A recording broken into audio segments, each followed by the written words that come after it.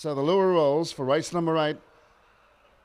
The launching pad, April 14. Masika from box number three. They're racing. Masika jumped out well, but so too did My Bro Joe, who goes through to lead. My Bro Joe from Masika. Forever a Dream across to third, then Indian Shadow, and four lengths away. Family Trust and Midoriyama. Just getting up the track a bit, my bro Joe. It's two lengths in front of Masika going into the back, and they're out by seven or eight lengths on Forever a Dream. And then came Family Trust, Midoriyama, and Indian Shadow. It's still my bro Joe, a length in front. Masika hugging the rails, is pushing for that run, is coming through now, the favourite. Masika after my bro Joe. There's going to be nothing in it. It's a bob of the head on the line. My bro Joe or Masika, nothing in it from Forever a Dream. Then came Midoriyama from Family Trust and uh, Indian Shadow.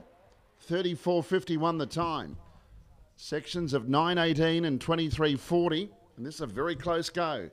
Just a bob of the head. Masika took the shortcuts through, has saved the ground, gave itself every chance. But uh, my bro Joe kept uh, kicking. And this is a close one after race eight.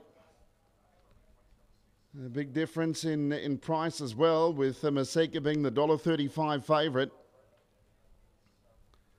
So stand by for the result. 34.51 the time. My bro Joe at different stages just got up the track enough for Masika to poke through. But uh, my bro Joe was certainly very game and they had the race between them a long way out. They put a big gap on the others heading down the back straight. So it's very close, very close go here.